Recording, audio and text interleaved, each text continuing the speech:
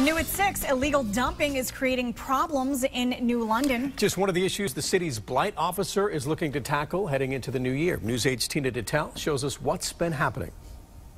It's been more than a year since the Salvation Army thrift store has been closed, yet as you can see, people continue to bring their old items here out back a good portion of these things were not here last week. Kenyon Haye is New London's blight enforcement officer. He can issue citations and fines, but he'd rather work with property owners willing to cooperate, like the Salvation Army, which still owns this now vacant building. I'll call Salvation Army. They'll send someone down to pick it up.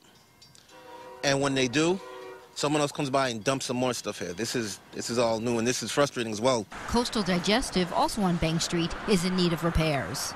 I sent letters and I'm trying to track down who the owners are. In this blight fight, Haye is working with members of the city center district, like the Hygienic, which installed the final glass panel today on the amphitheater covering its art park. These ones collect water to water the trees um, to the ground. A sustainable modern design, which many hope will add to the revitalization of this downtown area. The important thing is a year ago, there's a new blight ordinance with teeth, so to speak.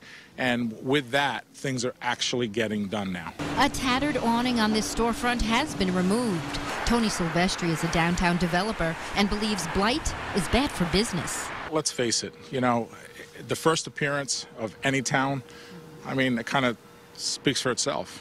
The blight enforcement officer says people can bring items to the transfer station over on Lewis Street here in the city, and items like this mattress are free. In New London, Tina Detelj, News 8.